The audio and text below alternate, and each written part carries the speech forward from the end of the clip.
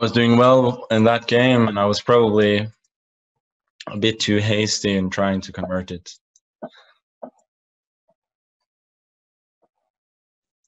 Let me see what he's got in mind here. I'll go d3.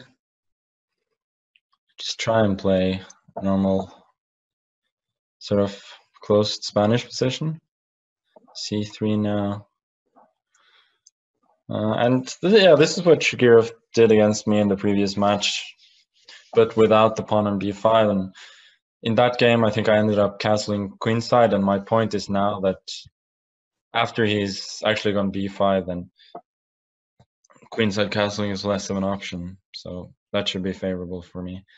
I don't know if I'm playing this too accurately. Uh, oh, 97. That's very surprising. I guess I'll take on knight h4. I don't think that was called for at all. Knight g6, I got queen h5. Looks looks very, very promising for me. Yeah, queen h5 now. King d7, yeah. But this is this is, I think, not very good. Have to be precise though. He, he's got queen g5. So logical option is just to go g3, queen g5, drop the queen back. Have I got anything better? Go knight f5, queen g5. No, I think I'm just going to go g3. Drop the queen. If he takes, I take. feel like I still got some some pressure. Hmm.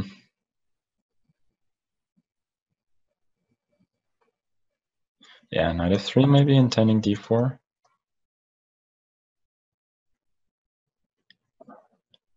Queen g6. He anticipates that. Okay, so I'm going to try and be more clever. Go d4 now. If ED, I'm going knight f3 and then CD. And then he's still got queen g6. This check on b5 is nothing special. So probably ED, I gotta go CD, which was sort of my backup option. Then bishop d4, knight f3, queen c5. Maybe you can you can make that work tactically.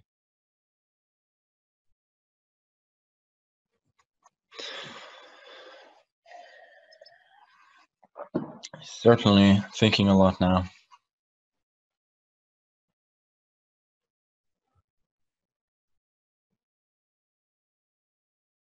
Sure, these are some of the things he's considering.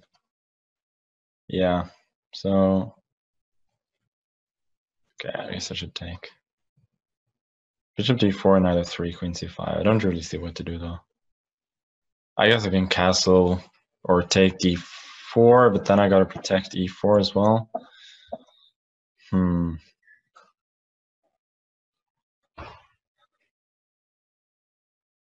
Uh, I think I'm just going to castle fe3 and then I got a square on I got a square on d4 as well. Rook c1 coming. I think position is not going to be too easy for him to play. So I take Go knight d4, I guess. He's probably gonna go c5. Then I try and kick kick his queen with a3. Hmm. Yeah, rook f6 is very tempting. cd4, queen g4. Yeah, this looks very good.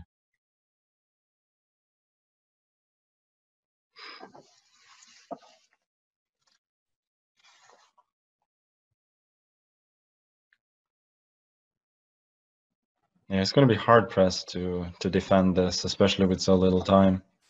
Yeah, he tries to go for some counterplay, but I don't think it's going to work out. I could be wrong. Rook c7 threatens mate on two squares. Yeah, king g2, queen e2, rook f2. That's going to be game over. Yeah, this is mate. Okay. Even the score, very important. Not good. Let me try this again. Feels like a decent enough choice against him.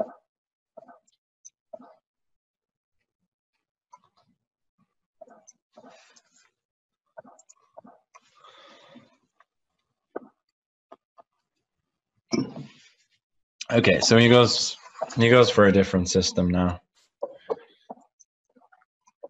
Guess I'm just gonna play it pretty slowly.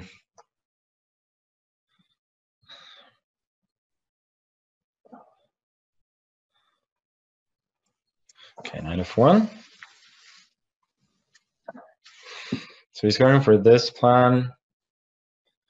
He wants to go Maybe go knight d4, I'm not sure. Anyway, with knight g3, I'm preventing knight h5, so actually getting f5 is a bit more difficult for him. Okay, so I could take, also I could go cd.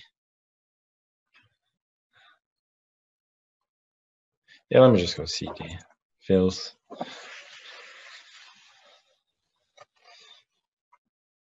feels a bit easier to play.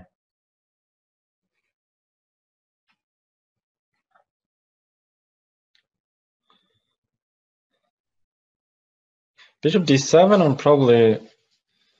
Oh, I'm just completely blind. What am I even doing? I'm just completely missing that I got the threat of cd and then bishop a3 winning the exchange.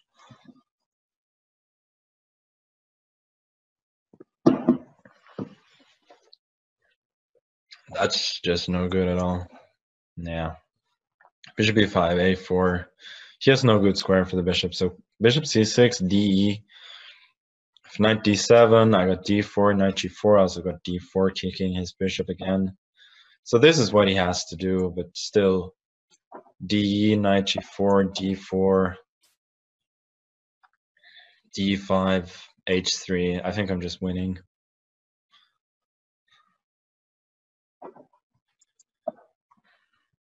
He's gonna try and muddy the waters some way, but I don't really see it.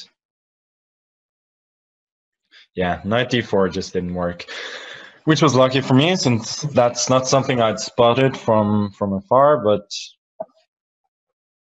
it's not that big a surprise. I can just go bishop g5, right?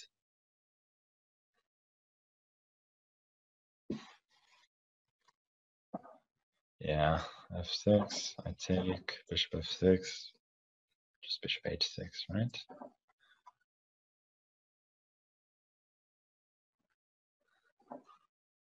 Bishop a1.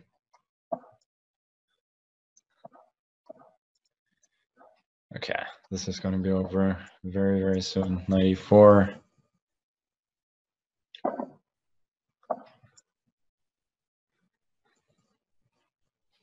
e6? Just so many winning moves. Don't even want to allow king f7 though. He's going to resign. Okay. Evening the score again, with this